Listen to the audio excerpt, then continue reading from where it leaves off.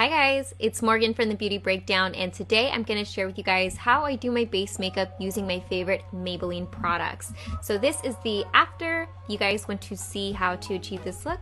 Just keep watching. Now first I'm going to go ahead and prime my skin using the Master Prime and I do have three different varieties here. First we have the Hydrate and Smooth, then we have the Blur and Pore Minimize, as well as the Blur and Defend.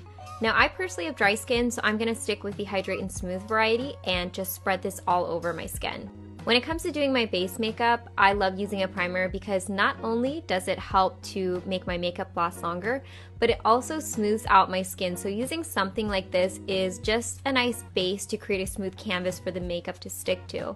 This, like I said, also is the hydrating formula, which is super lightweight. It doesn't clog my pores, and it kind of conceals some of the dry patches that I tend to have on my skin.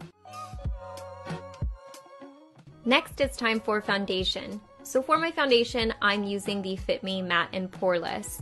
This is designed for normal to oily skin, but I actually really like this for my dry skin because it gives me such a beautiful finish. So I use the shade 128 Warm Nude. There are 40 shades of this available, so you're bound to find something that matches your skin tone perfectly. It can sometimes be difficult to find the right undertone for me, and this one looks flawless. Now, how I apply this is I just dot the foundation onto my skin with my fingertip, and then I go back in with a makeup sponge or a brush or even clean fingertips, and I just blend it in And you can see how easy this foundation just melts into the skin and looks seamless. Like I said, I also love the beautiful finish this gives my skin, and I'd say this has about a medium coverage, which is really great because this is still a very lightweight foundation. On top of all that, this foundation is oil-free, fragrance-free, dermatologist tested, non-comedogenic, and also allergy One of my all-time favorite concealers is the Fit Me Concealer. There are 18 shades of this available and I personally love to use Wheat Blay. Like I mentioned, finding my undertone can sometimes be difficult, but this color matches my skin so perfectly and underneath my eyes it just gives me this nice brightening effect to really conceal the dark under eye circles I might be having. On top of that it is a natural coverage and it's also super lightweight so underneath my eyes it doesn't sit in the fine lines, it doesn't emphasize anything I wouldn't want it to and I can also use this as a highlighting type of concealer for the high points of my face. Now another long-standing favorite concealer of mine is the Instant Age Rewind Eraser.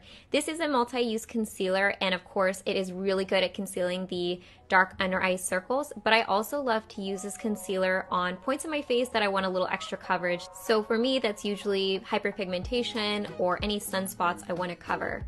This does instantly refresh the skin with Goji Berry and Haloxyl, and this also is available in 18 shades similar to the Fit Me concealer. Despite having dry skin, I always like to set my foundation and I typically point set, meaning I set only select areas of my face. Typically this is the under eye area or areas of my face that tend to move like around my mouth, around the smile lines.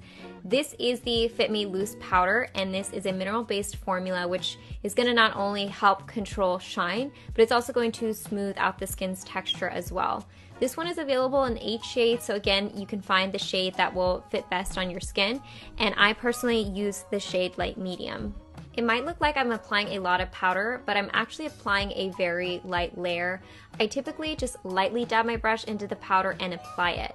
And as you can see, a little bit goes a long way.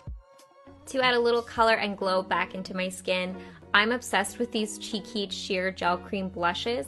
I'm using the shade 25 Fuchsia Spark and I usually just apply these with my fingers. I find that the warmth from my fingers just really melts the color in and I also like to add a little bit to the tip of my nose. Finally, I'm going to set everything with the Lasting Fix Makeup Setting Spray. This sets your makeup for up to 16 hours.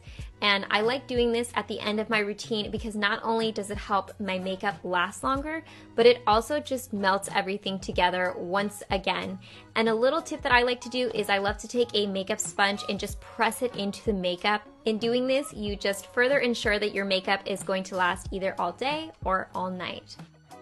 So this is the finished look. I hope you guys enjoyed hanging out with me while I did my base makeup using my favorite Maybelline products, and I will see you guys in the next video. Bye guys!